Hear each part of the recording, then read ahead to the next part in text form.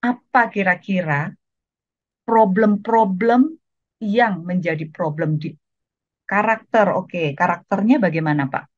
Atau Mbak ini, Bu? Anak-anak tidak tahu cara mengelola emosinya. Good. Ada lagi, Bapak Ibu. Tuntutan dan intimidasi. Bagus. Latar belakang keluarga. Benar sekali, Bu Ani. Terima kasih. Ada yang broken home, ada yang dia kurang kasih sayang, ada yang kekerasan munculnya juga memang dimulai dari rumah dan lingkungan sekitarnya. Saya pernah melihat sendiri dulu. Kemudian juga merasa tidak didengarkan, ya. Ada yang masih kelaparan, gitu.